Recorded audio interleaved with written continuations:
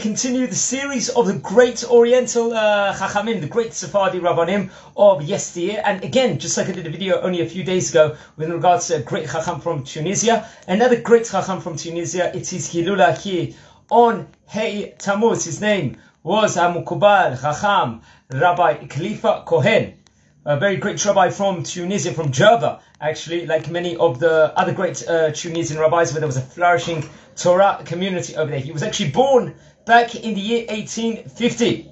And uh, to, uh, came from great, great, great lineage, as we'll learn about. He had uh, a special yichus from Ezra HaSofer, uh, his Cohen status well, uh, is, and uh, through a very uh, strong lineage, very, very great uh, lineage. His father was also a great rabbi, Rav Moshe, and his his uh, ima was Rabbanit Varida also. And he was born back in the year 1850 in uh, Jerba, as I stated before. And uh, he obviously was learning at a very young age. He was learning uh, very uh, very uh, incredibly within regards to the deepest uh, levels of the Torah. He became an expert, started learning Kabbalah at a later age, and uh, learned in the great yeshivot of Tunisia. In fact, he became the chazan of a very famous synagogue in Tunisia, something of the name which is also famous nowadays, very, very well known. It was a Beit Knesset Al Griba over there. He was the Chazan of the Beit Knesset, and he also uh, gave drashot and was a leader over there also. Also, he he, he, he had a, a, few sons also, and they became very, very great uh, Torah scholars, including Rabbi Yehuda Manini, who was actually the composer of the book, the Kol Yehuda, and Rav Shimon, another one of his great sons, a great uh, Talmud Chacham, who wrote the Shimon Musar also. Many, many things can also be said. His actual son became one of the leaders in uh, in Tunisia, also of the area which I've spoken about beforehand, Zarazis, which was a was a, a, big town with a great amount of uh, Torah scholarship. It was a uh, great city in Tunisia where there was a huge amount of Torah scholarship over there.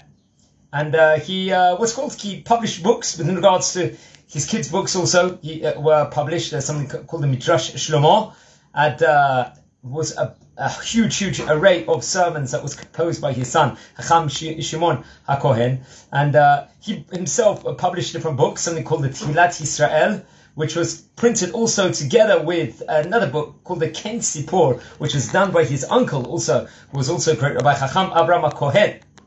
And it was actually on the 5th of Tammuz, back in the year 1950, so, uh, where he passed away in Jerba in the year 1932.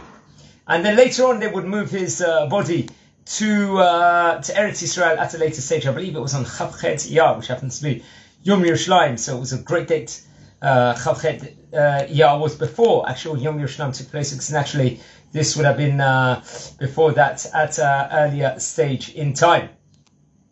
Also, he wrote, just to give a brief summary of the books he wrote, it was not just those books, it was also the Kikar Zahav, the Kikar La'adan, and the Kikar Lechem, also these were books. There was also the Midrash Shlomo, which was in three volumes also. The Simcha V'Sason was another book, it was a composition of the Haggadah Shel Pesach, which is still, I believe, used very much nowadays, and also the Tehilot Yisrael, which I spoke about before, which is a book on the Tehillim itself.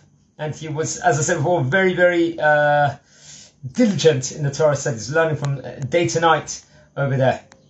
And uh, was just learning basically the whole time. Was one of the great Rabbonim of Tunisia. Also, his uh, grandfather was uh, also a great man of the name Rav Sayyid, also, who uh, from the side of his father, who was, as I mentioned before, was a great rabbi, Rav Moshe. His father, Rav Sayyid, also a great rabbi in Tunisia also. So he uh, was had a huge part in regards to the Beit Knesset of Tunisia, the, the Beit Knesset of Al Griba, very very famous Chazan there, very very powerful rabbi, and uh, was, lived around uh, around 82 years. So Tisilule, he passed away in 1932. So we're at the time of this video, 2023. So he, this is we're talking about 91 years ago.